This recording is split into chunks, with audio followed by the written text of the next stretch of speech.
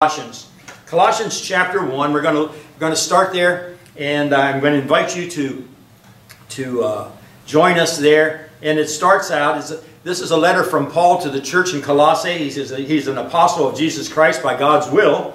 In other words, he's an apostle because God has called him to be an apostle, not because he just took on that title himself. You know, there were so many people out there in, involved in the church who have taken upon themselves titles. They, they call themselves something special.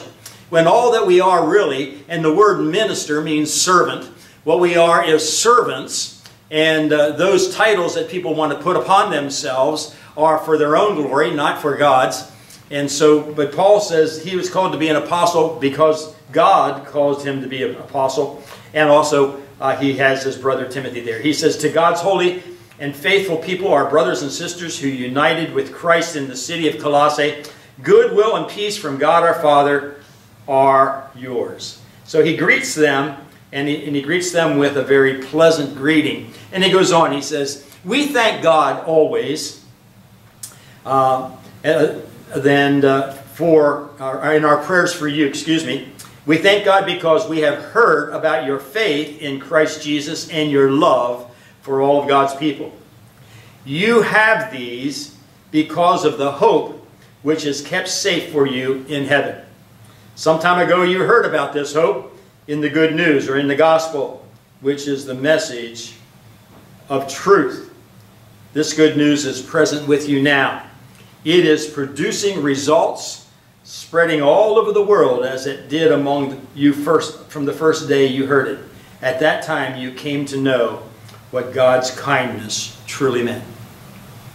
You know, we are, we are people who want to share love and kindness and goodness with as many people as we can possibly see. And why do we want to do that? It's because God has shown kindness and goodness to us. God has given to us, by the power of the Holy Spirit, through the gospel, a reason for being upbeat, for a reason for, for looking at things in a positive way. What, how can we do that in, when things around us seem to be in such turmoil? We do it simply because we know that what lies before us is not the turmoil of this earth, but it is the, it is the glory of heaven. Jesus said, In my Father's house there are many dwelling places. If that weren't so, I, I wouldn't be telling you now that I'm going to prepare a place for you. And if I go, I'm going to come back and take you there so that you can be with me forever. See, there is a place called heaven. And there is a place called hell. And we have a choice. You know, we, we said that, it says here that, that God's Word, the Gospel, is truth. We talked a little bit about truth uh, a couple weeks ago. The, the truth, truth cannot be uh, anything but true. Truth, you know, truth is always true. Uh, you know, I, we were talking earlier today, if you went to a, uh, went to a school and your, and your teacher told you that, uh, that you know, 2, 2 plus 2 is 4 or that you know, 10 plus 10 is 20 or 10 times 10 is 100 and you go, well, you know, I, I don't think that that's true. I, I think that we that should be a different number. That I think 2 plus 2 can possibly be 5 and, and that uh, 10 plus 10 could be, could be 25 and, and 10 times 10, you know, that's, that's maybe that's a 1,000. And uh, the teacher says, no, it is 2 plus 2, 4. 10, 10 plus 10 is 20. 10 times 10 is 100. And there's no way of getting around that. We could say, well, you know, you're being very, very, very dogmatic about this. You're being very uh, narrow-minded here. Uh, you need to have a little bit of tolerance and let me have my own ideas. I mean, that's just your perception there. I mean, that's your idea that 2 plus 2 is 4. And maybe my idea is that 2 plus 2 is 5. You know, we, and the teacher says, well, you know, you can have whatever ideas you want, but if you take the test and you put 5 down as an answer for 2 plus 2, you're going to fail. You go, well, you're very, very, you're very, very mean, and you're and you're very dogmatic, and you're very stern, and, and I don't think I want to I want to listen to you anymore. But the fact of the matter is, 2 plus 2 is 4, 10 plus 10 is 20, and 10 times 10 is 100. And no matter how much we want to change that, it is not going to change. So when the Lord says, I am the way, the truth, and the life, and no man comes to the Father but by me, that is a truth And no matter how much you want to change that, it is not going to change. You can say, well, that's just your perception. That's, that's the way you interpret it. No, it is what Jesus said. It is the truth. It is the truth. Jesus said, For God so loved the world that he gave his only begotten Son, that whoever believes in him will not perish, but have everlasting life. That's the truth. And he goes on and he says, as we will study later as we look read through this book of Colossians, that there are certain things in this life that if we practice them, if we make them part of our lifestyle, we will not see the kingdom of heaven. These are truths. And because we have the truth, we can rest assured and we can, we can stand on the promises of God and we can know that the glory and the blessings and the joy of be, walking with Christ and, and going to heaven eventually and living with Him for all of eternity is enough to make us filled with joy inside. We talked about that a couple weeks ago, about being filled with the joy of the Lord. It is the understanding that what God's Word says is true and what He has promised us as believers in Christ is also true, and we look forward to that.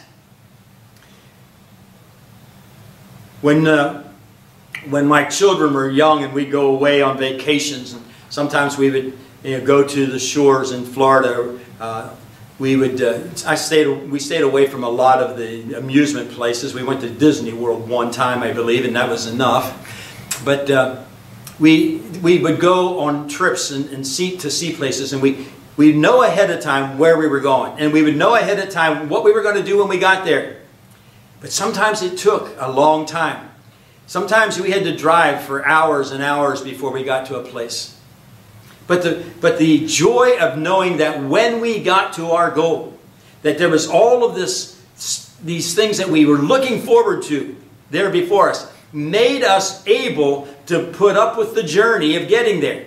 And sometimes the journey had some pitfalls on it. We had to stop and get gas. We had to eat in, uh, in fast food restaurants. We had to you know, sometimes get tired and, and change drivers and, and so forth. But the thing is, the joy of knowing where we were going and what lie ahead gave to us the strength and the ability to continue on to that goal.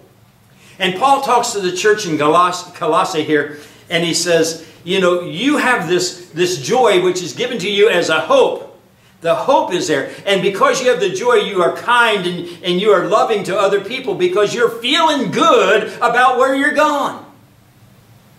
You, you understand where you're headed. You understand what's going on out there. Now, if you're not one of those people who understands where you're going, and you're one of those when if somebody says, if you were to die today, would you go to heaven? And you say, oh, gee, I, I certainly hope so. I've really tried hard. I want you to know you're on the wrong track. See, we don't get there by trying hard. We don't get there by thinking that maybe we might. We have the promise of eternal life because we trust in Jesus Christ and the blood that was shed on Calvary. We, get, we have the promise of eternal life because we know that we can't make it on our own, but that eternal life is, is a gift given by God to those who believe His Word. And all you have to do to be sure that you're going to heaven is to put your faith in Christ and obey His Word. Hallelujah. He says this, this good news that is present with you now and is producing results. And those results are that people around you see that you are filled with joy. We have faith and love and joy because we know the truth. Hallelujah. So he goes on and he says, uh, he learned about this from myself and those that are with me. Verse 9 in Colossae chapter 1. For this reason, we, do not, we have not stopped praying for you since the day we heard about you and we ask God to fill you with the knowledge of His will through every kind of spiritual wisdom and insight.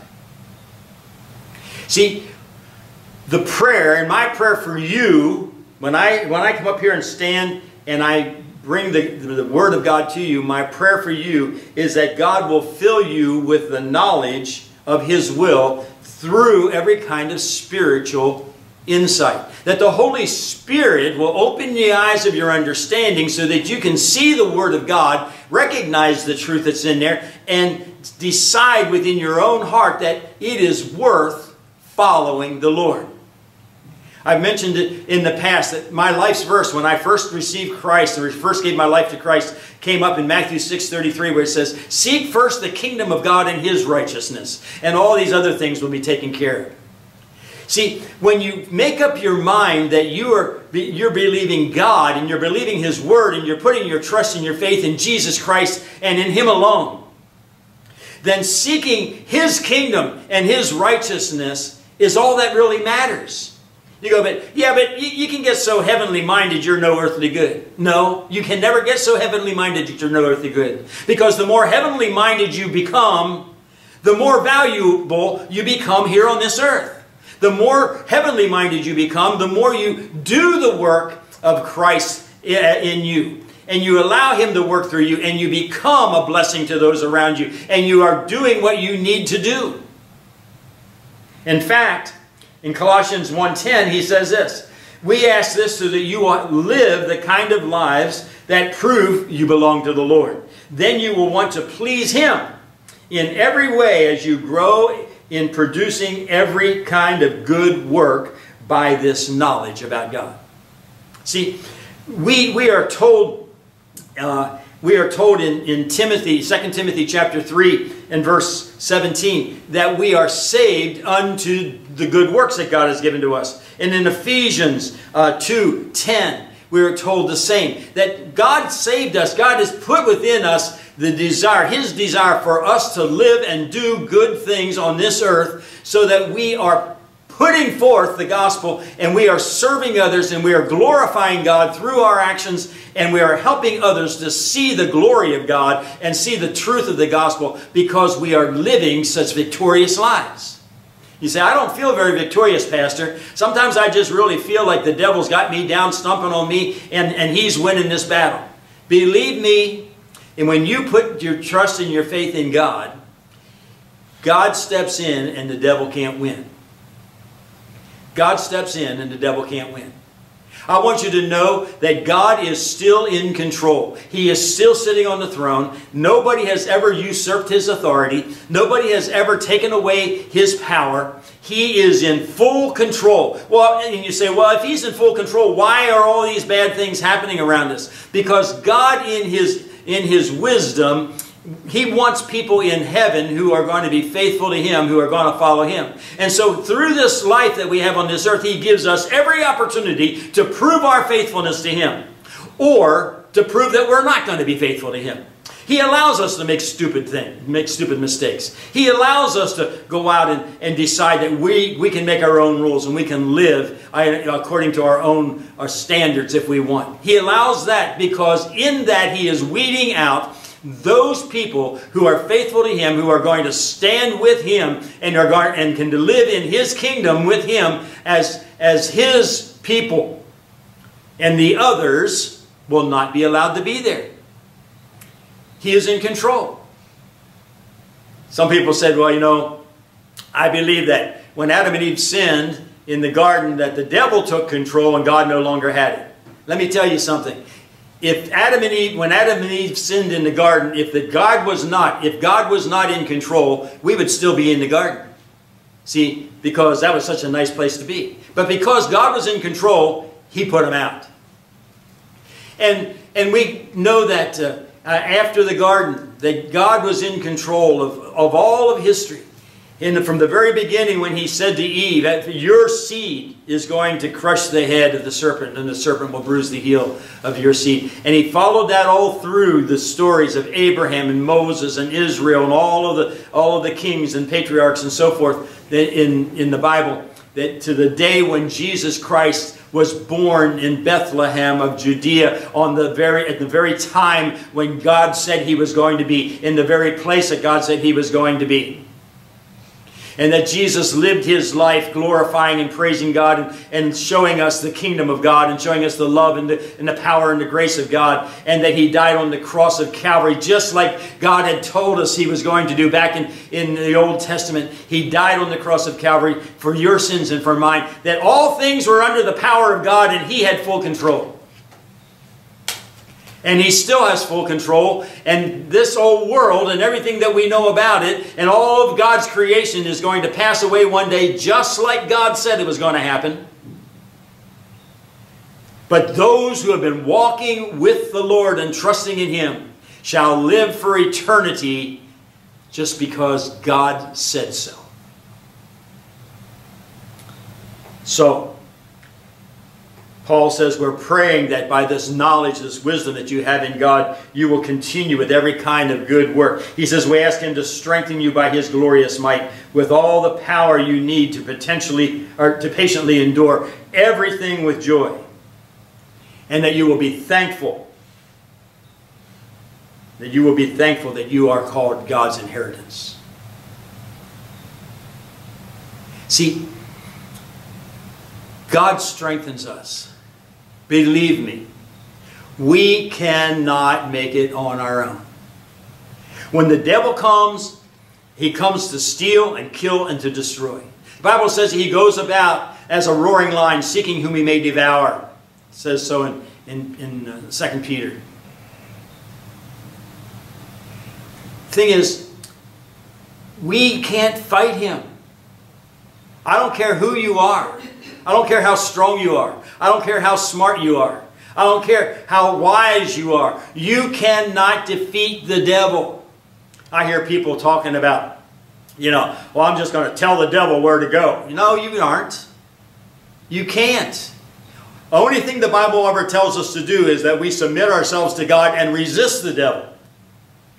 And as we resist the devil, after submitting ourselves to God, see, there's that, that thing in there. We need to submit ourselves to the Lord. Then we resist the devil. Because we have submitted to the Lord, the Lord steps in and He fights the battle and He overcomes what the devil is doing in our lives. It is not us. When you stand up and you tell the devil where to go, you're just wasting your breath, my friend. Because you have no power in yourself. But when you trust in God and you've been submitting yourself to the Lord, God stands up. See, people who say the devil took control back in the Garden of Eden, they forget all about the story of Job and how the devil had to go to God and seek for the uh, seek for permission to touch Job's life. They forget. They forget how how the devil tried to destroy the baby Jesus, but God protected him. They forget all of these things where God had stepped in and He preserved Israel many times over as they were invaded by other armies. How He, he brought the people who were wayward and had turned away from Him back to Him by teaching them lessons. Sometimes they were harsh, but He did it. See, God is in full control. He goes on in verse 13 God has rescued us from the power of darkness and has brought us into the kingdom of His Son whom he loves. We're told that we were, we were brought out in 1 Peter 2. We were, we were taken out of the, the darkness. He's delivered us out of darkness and brought us into his marvelous light. That we're the people of God, called by his name.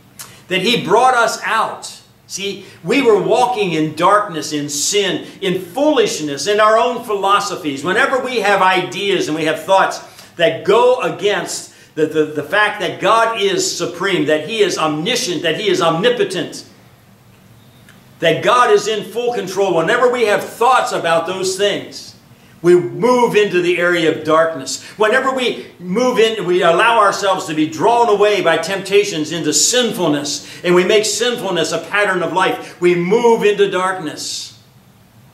The Bible says that the world, that Jesus came into this world as a light, but that the world did not receive it. Darkness didn't comprehend it, and the world would not receive it because they loved darkness rather than light. They didn't want their sins. They liked their sins, and they stuck with their sins, and they didn't want them to be revealed. So they didn't want the light that reveals the, the sin in our lives, that light that blows away all of the darkness that's in our lives. They didn't want that there and they rejected Christ.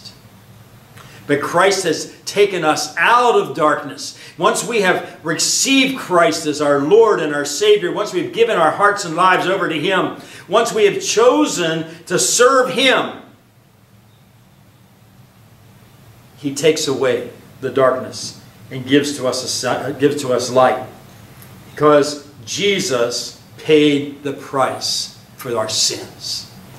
He dealt with all of the things that sin brought upon us and he pushed it away and he's given to us light and life. See, this Jesus that we worship, this Jesus we talk about, he wasn't just a mere man that had God's Spirit working on him.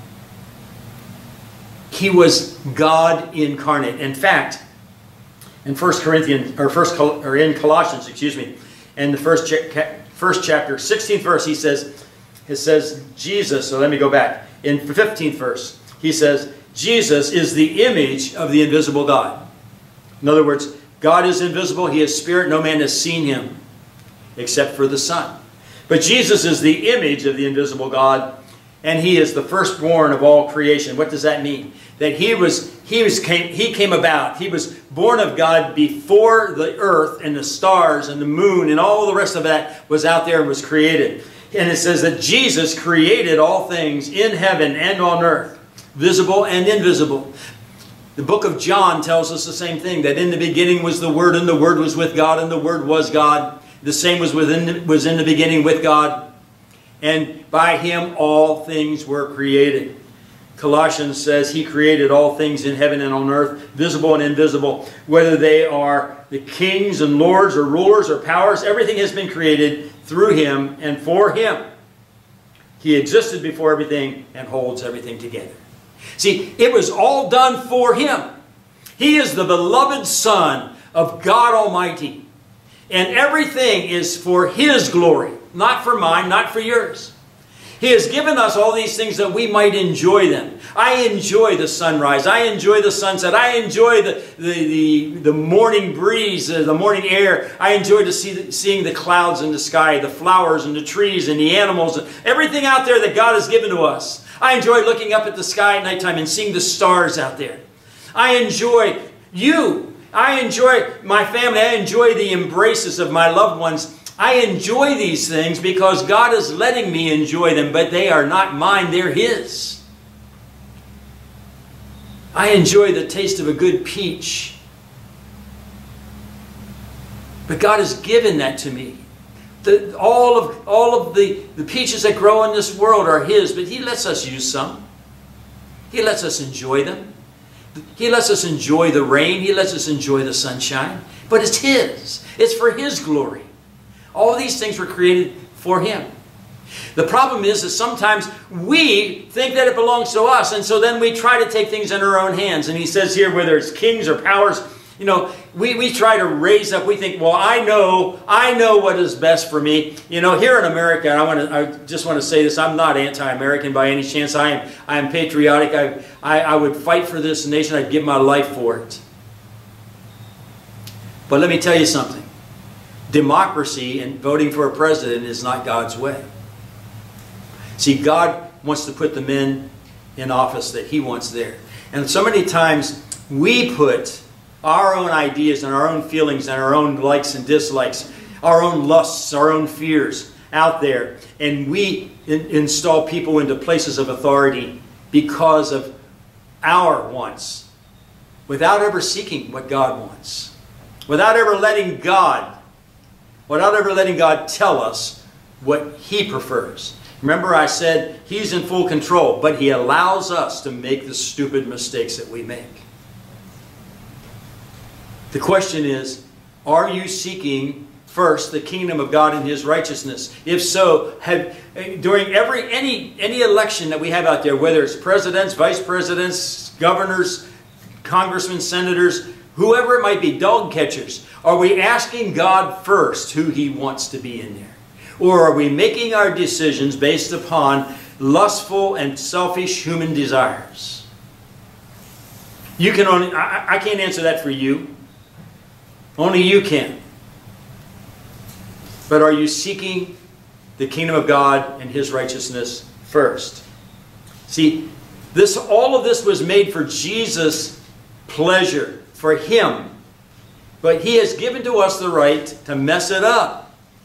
But in the end, in the end, it's all going to come back to him. In the end, nations and kingdoms are going to be placed under his feet. This earth is going to be put under his feet as a footstool. In the end, he is going to rule and reign supreme. And as followers of Christ, we can rejoice with that. We can shout hallelujah. We can sing praises because in the end, it's going to be right. And all of the decisions that mankind has made, which were made with foolish reasoning, are going to be passed away. The thing is, he is also the head of the church, which is his body. He is the beginning, the first to come back to life, so that he would have first place in everything. And God was pleased. Here's the, you know, when God says something more than once, we need to sit up and take notice. We read back here in, in verse 15 that Jesus is the image of the invisible God. In verse 19, he says, God was pleased to have all of himself live in Christ. In the next chapter, in chapter 3, or chapter 2, um, in verse 8, it says, All of God is in Christ. See, he says it over and over again. Christ is all of God. When we see Jesus, when we see how he dealt with people, how he, how he loved, how he looked at those who opposed him, we can see what God is like. Even hanging on the cross, Jesus was praying for the forgiveness of those who had crucified him.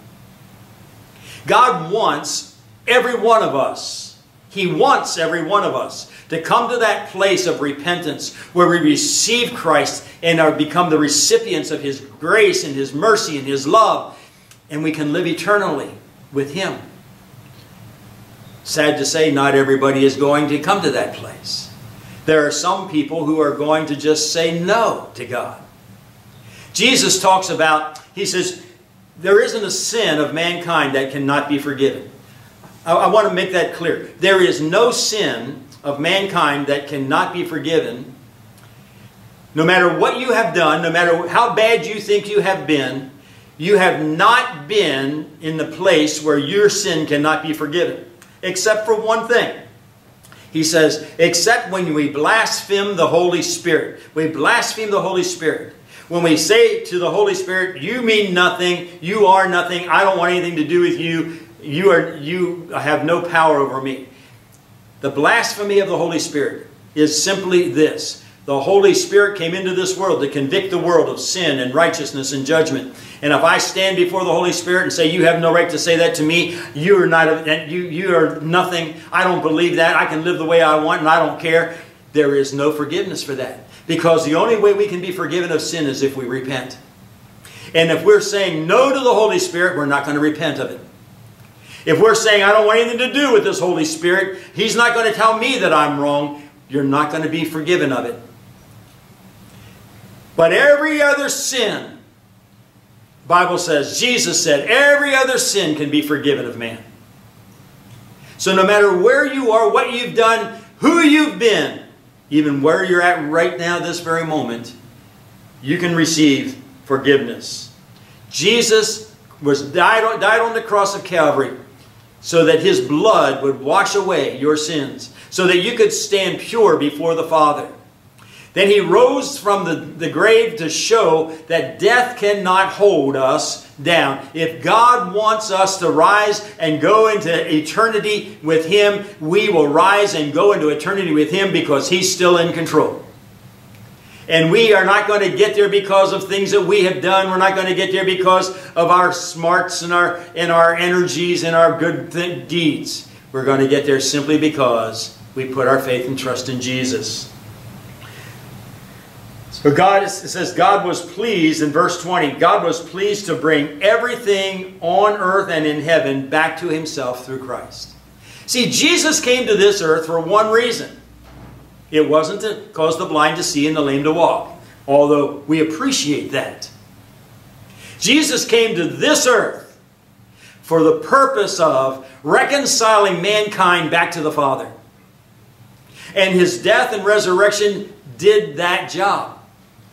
Now, God leaves it in your hands as to whether or not you are going to accept the gift that He has offered through Christ. And if you choose to accept it, then you also choose to accept the responsibility that comes along with it.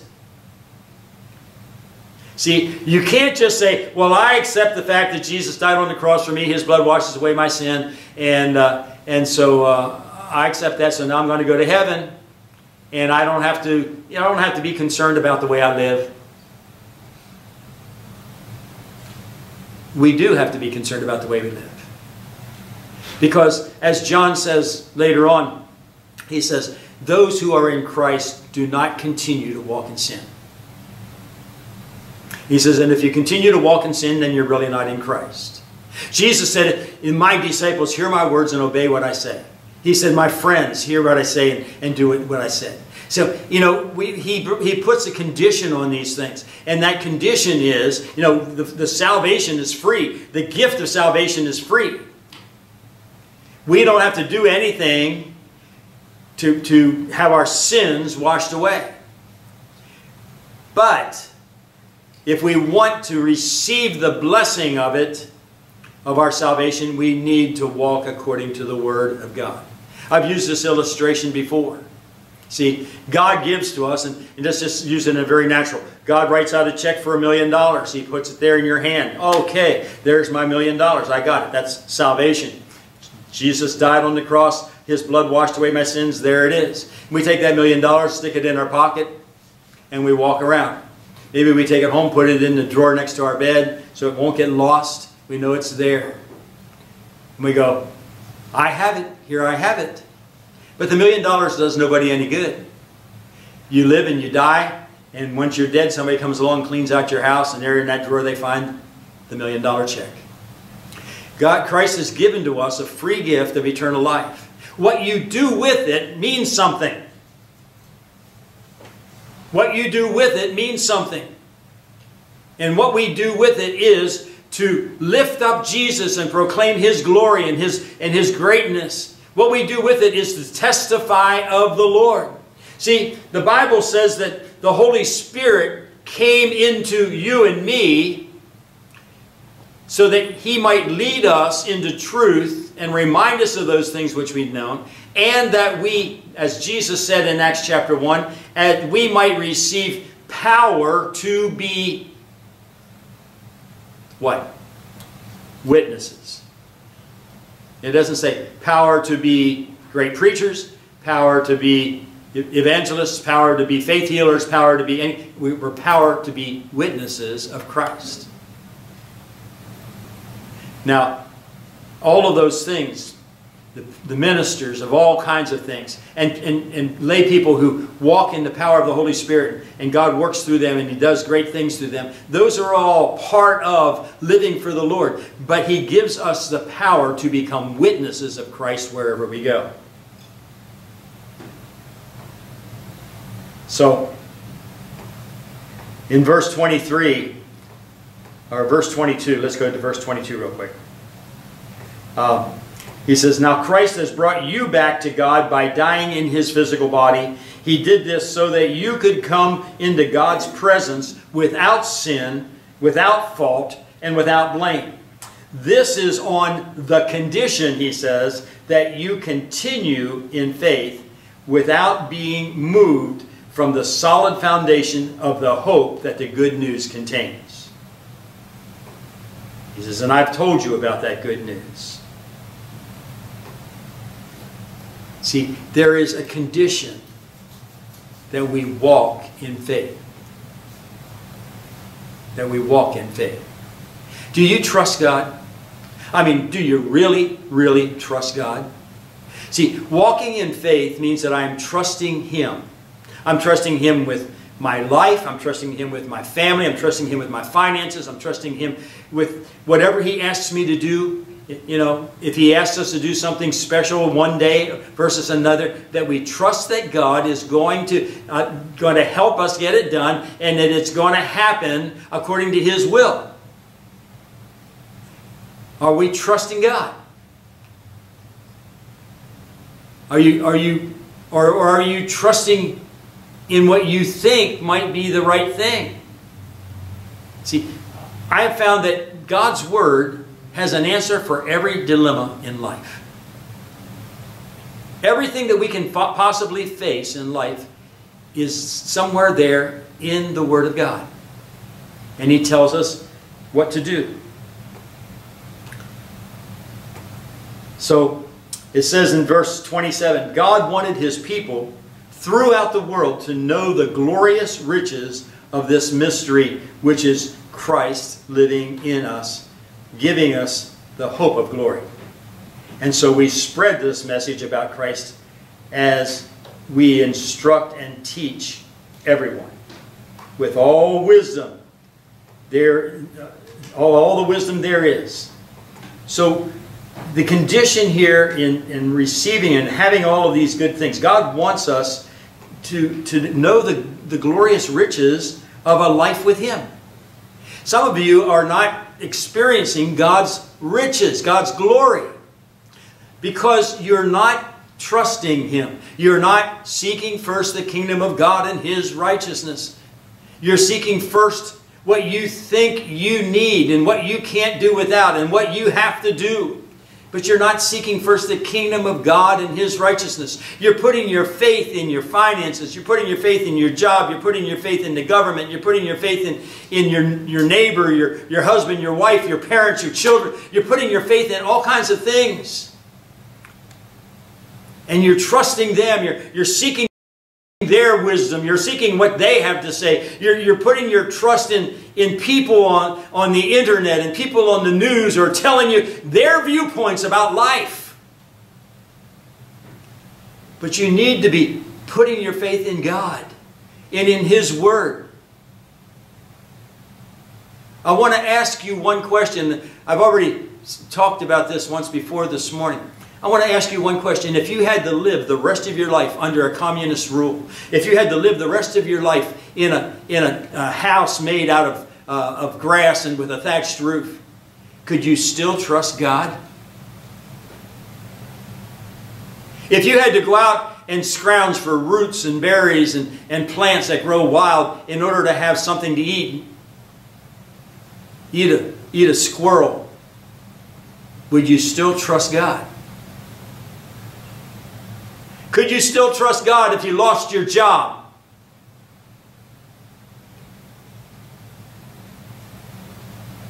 Could you still trust God under these adverse circumstances?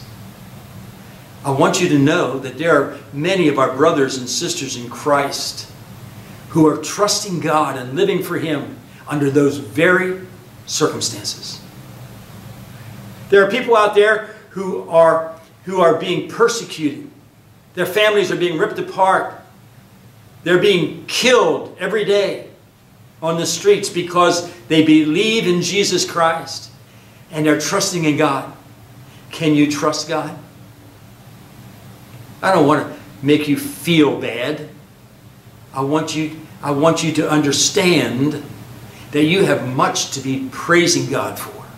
You have much to be standing up and shouting about from the rooftops about the glorious blessings of God. And yet, so many times we put the Word of God aside so that we can follow the crowds. And we forget that God said that broad is the gate and wide is the way that leads into destruction, and many there are that follow it. When we start following the crowds, we better be cautious. Because straight is the gate and narrow is the way that leads to eternal life, and there are few who find it. And the few who find it are those who are trusting in Christ, who are trusting God with all of their heart, who are loving Him with all of their heart, mind, soul, and strength. Those are the ones Those are the ones that are on the, the straight and narrow way. The ones who are going about proclaiming that Jesus Christ is Lord no matter what other people think. Those who are those who are saying, I am going to do what Christ wants me to do, even if everybody around me thinks I'm being a fool. They're following the straight and narrow way. There is a condition, there is a condition to our walking with Christ. He says, we spread the message about Christ as we instruct and teach everyone with all wisdom, all the wisdom there is. And we want to present everyone as mature. Paul says this, I work hard and struggle to do this, while God's mighty power works in me. See, it is not you, your strength, your ability, your, your, your wisdom and, and your knowledge that's going to get the job done. It is simply you allowing Christ to do His work in and through you that will get this work done. And you trusting Him to do it properly. And you trusting Him to let it all come out for your good because you love the Lord and are the called according to His purpose. See, that's where it's all at. So today I just want to encourage you. Trust the Lord. Seek Him while He may, be found. Examine your own heart and say, where have I been trusting Him and where have I not been trusting Him? And then ask yourself the question, have I sought first the kingdom of God and His righteousness? Or have I sought first what I wear, what I eat, where I'm going to lay my head? Matthew 6.33. Read it. It's a great, great passage of Scripture. Ask yourself that and then determine on your knees before God that you're going to serve Him. We sang a song earlier this morning says the greatest thing in all my life is knowing Christ. The greatest thing in all my life is loving you. The greatest thing in all my life is serving you. God, you know, the greatest thing in our lives is being called a child of God, faithful unto you, obedient to your word. Help us, O Lord, to be that. Father, we just put ourselves in your hands today. We glory in your presence. We thank you, God, for your help. We thank you for your strength. Lord God, left on our own, we would fall down and we would perish. But because you are God, and because you are in control, because you there is nothing that you can't do, Lord God, help us to walk in victory, that we might, and let us rejoice before the world in knowing that we are on the road that leads to glory. Thank you, Father. Hallelujah. Thank each one of you for, for joining us today. And I ask you just to just to turn your heads, turn your face toward heaven, and just give God praise right now. Hallelujah. Hallelujah. We, uh, if you want to contact us in any way, uh, please feel free to. Our address here is 4709 Oglethorpe Street, Riverdale, Maryland zip code 20737. Drop us a line. Let us know what's going on in your life. We're on, we're on Facebook under my name, Bruce Baum, and we're on YouTube under Open Bible Maryland. Join us. Be part of us. And if you live close by, come on in. We'd be happy to see you. May God bless you and keep you. May His face shine upon you. May He lift you up and give you glory. Amen.